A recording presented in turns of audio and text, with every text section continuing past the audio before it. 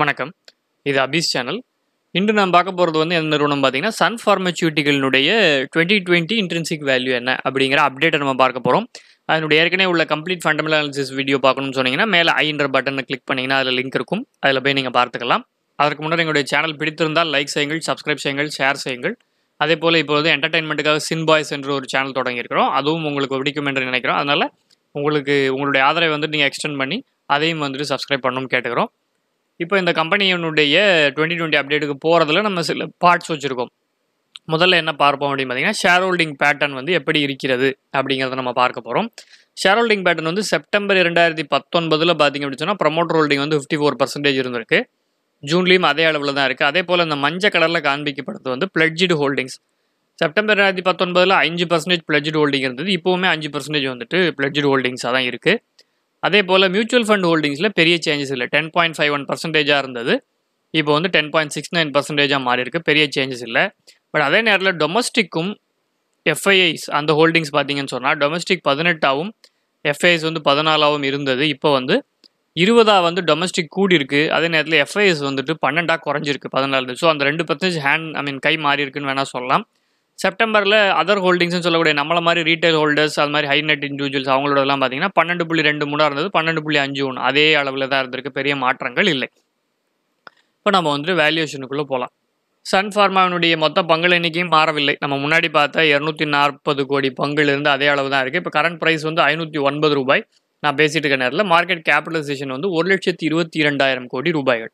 இபிவி calculation பார்த்தீங்க அப்படின்னு சொன்னால் இரண்டாயிரத்தி பத்தொன்பதாம் ஆண்டில் ஆவரேஜாக அதுக்கு முந்தின நான்கு ஆண்டுகள் ரெவன்யூ வந்துட்டு ஆவரேஜ் இருபத்தி எட்டாயிரத்தி ஒன்பது தொள்ளாயிரம் கோடி அதாவது இருபத்தி ஒன்பதாயிரம் கோடிகள் இருந்தது. இப்போ முப்பதாயிரம் கோடிகள் ஓரளவுக்கு மூணு பர்சன்டேஜ் வளர்ந்துருக்கிறது. பட் எக்ஸ்பென்சஸ் பார்த்தீங்கன்னு சொன்னால் ஆவரேஜ் எக்ஸ்பென்சஸ் வந்து இருபத்தி மூணாயிரம் கோடியிலேருந்து இருபத்தி நாலாயிரம் கோடியாக வளர்ந்துருச்சு. கிட்டத்தட்ட ஆறுலேருந்து ஏழு விழுக்காடு வந்து வளர்ந்துருச்சு. ஸோ அது வந்து இவங்களுக்கு கொஞ்சம் ட்ராபேக்காக தான் இருக்கிறது. இன்கம் பிஃபோர் டேக்ஸ் பார்த்தீங்கன்னு சொன்னால் அதனால இறங்கி விட்டது இன்கம் அதாவது ரெவென்யூ வந்து மூணு பர்சன்டேஜ் தான் வளர்ந்துருக்கு. ஆனால் இன்கம் பிஃபோர் டேக்ஸ் வந்துட்டு ஐ மீன் எக்ஸ்பென்சஸ் வந்து ஆறு பர்சன்டேஜ் ஏழு பர்சன்டேஜ் வளர்ந்துருக்குங்கும் போது இன்கம் பிஃபோர் டேக்ஸ் வந்து ஒன்பது பர்சன்டேஜாக குறைஞ்சிருச்சு. ஆவரேஜ் நம்ம எடுக்கிறோம். இரண்டாயிரத்தி இருபது ஆண்டு நாங்கள் சொல்ல இரண்டாயிரத்தி பத்தொன்பது இருபதுக்கு அந்த அந்த வித்தியாசத்தை நம்ம பார்க்குறோம். இப்போ இன்கம் பிஃபோர் டேக்ஸ் பார்த்தீங்கன்னா குறைந்து விட்டது. அதாவது டிஸ்ட்ரிபியூட்டிவ் கேஷ் ஃப்ளோன்னு சொல்லக்கூடிய அமௌண்ட் வந்து குறைஞ்சிருச்சு. மூவாயிரத்தி எழுநூறு கோடியிலேருந்து மூவாயிரத்தி நானூறு கோடிகளாக குறைந்து விட்டது. இப்போ இது வந்து ஆக்சுவலாக அடுத்தது எக்ஸஸ் கேஷ் ஃப்ளோ கேல்குலேஷன் பார்ப்போம். எக்ஸஸ் கேஷ் ஃப்ளோ கேல்குலேஷன் பார்த்தீங்கன்னா கிட்டத்தட்ட ஒரு முன்னாடி எப்படி இருந்ததுன்னு பார்த்தீங்கன்னா இன்வெஸ்ட்மெண்ட்ஸ் வந்து மூவாயிரத்தி எழுநூறு கோடியாக இருந்து ரெண்டாயிரத்தி இருபதில் ஐந்தாயிரம் கோடிகளாக கையில் உள்ள இன்வெஸ்ட்மெண்ட்ஸ் கூடியிருக்கு. அது வந்து முப்பத்தி நாலு பர்சன்டேஜ் வளர்ச்சி. அதே போல் அதர் ஃபைனான்ஷியல் அசட்ஸும் கிட்டத்தட்ட முப்பத்தி மூணு பர்சன்டேஜ் வளர்ந்திருக்கிறது. அது வந்து பார்த்தீங்கன்னா எழுபத்தி எட்டு கோடியிலிருந்து நூற்றி நாலு கோடிகளாக கூடியிருக்கிறது. அதுவுமே முப்பத்தி மூணு பர்சன்டேஜ் வளர்ச்சி அடைஞ்சிருக்கு.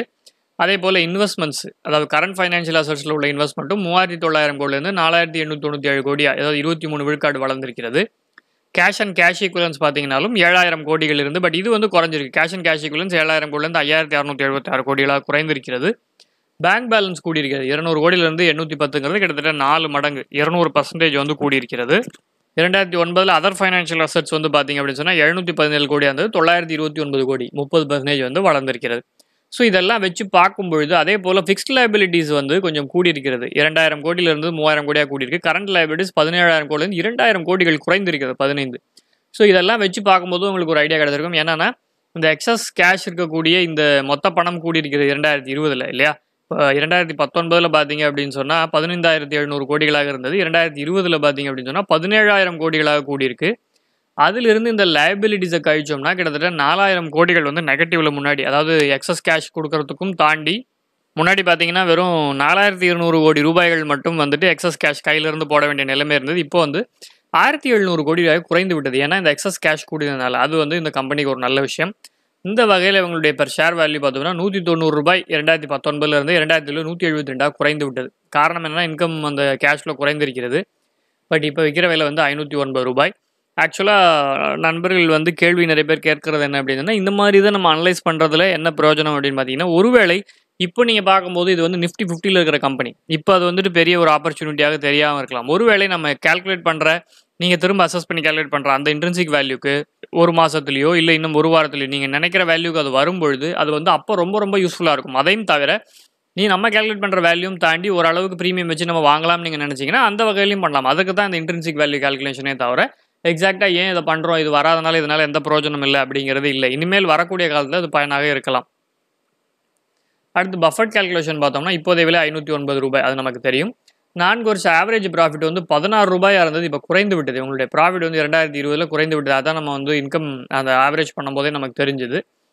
அதே போல் நாலு வருஷம் கேபிட்டல் எக்ஸ்பென்ஸ் அது குறைஞ்சிருக்கானா பன்னெண்டு ரூபாய் ஒரு ஷேருக்கு வந்து இப்போ பத்து ரூபாய் குறைந்து விட இருந்தாலும் ஃப்ரீ கேஷ் ஃப்ளோ அப்படின்னு சொல்லக்கூடிய அமௌண்ட் வந்து மூணு புள்ளி ஆறு ரூபாய் இருந்தது. மூணு ரூபா அறுபது பைசா இருந்தது. இப்போ ரெண்டு ரூபா பதினெட்டு பைசாவோ குறைந்து விட்டது. அதே போல் எர்னிங்ஸ் வந்துட்டு ஃபஸ்ட்டு த்ரீ இயர்ஸில் பார்த்தீங்கன்னா எட்டு ரூபாயாக இருந்தது. இப்போ வந்து பத்து ரூபாயாக வந்து கூடி இருக்கிறது எர்னிங்ஸ் ஃபஸ்ட்டு த்ரீ இயர்ஸ் அதாவது இந்த இதுக்கு பத்தாண்டுகளுக்கு முன்னாடி உள்ளது. பட் அதே நேரத்தில் ரீசன்ட் த்ரீ இயர்ஸ் வந்து குறைந்து விட்டது. அதனால் ஆப்வியஸ்லி உங்களுக்கு தெரியும். இப்போ ஏழு புள்ளி ஒன்பது ஒன்பதுலேருந்து பத்தாண்டுகளில் பதினாறாக கூடி இருந்தது இப்போ பத்து ரூபாயிலிருந்து பதிமூன்று ரூபாயாக தான் கூடியிருக்கு.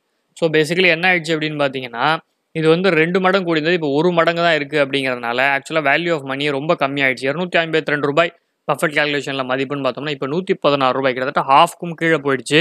பட் இது எங்களுடைய கேல்குலேஷன் மட்டும்தான். நீங்கள் கண்டிப்பாக தனியாக அனலைஸ் பண்ணி பார்க்க வேண்டும். ஏன்னா நாங்கள் வந்துட்டு செபி அப்ரூவ்டு இன்வெஸ்ட்மெண்ட் அட்வைசரோ இல்லாட்டி ரிசர்ச் அனலிஸ்டோ கிடையாது. எங்களுடைய ரெக்கமெண்டேஷனை மட்டும் வச்சு தயவு செஞ்சு நீங்கள் வாங்காதீங்க. உங்களுடைய அனலிசிஸை நீங்கள் பாருங்கள் பார்த்துட்டு வாங்கலாமா இல்லையா அப்படிங்கிற முடிவெடுங்க. எங்களுடைய காணொலி பிடித்திருந்தால் லைக் செய்யுங்கள் ஷேர் செய்யுங்கள் சப்ஸ்கிரைப் செய்யுங்கள். பெல் பட்டனை கிளிக் பண்ணால் நோட்டிஃபிகேஷன் உடனுக்குடன் வரும். இப்போ சின் பாய்ஸ்னு சொல்லி என்டர்டைன்மெண்ட்டுக்காக ஒரு சேனல் ஆரம்பிச்சிருக்கோம். உங்களுக்கு அதுவும் பிடிக்கும் என்று நம்புகிறோம்.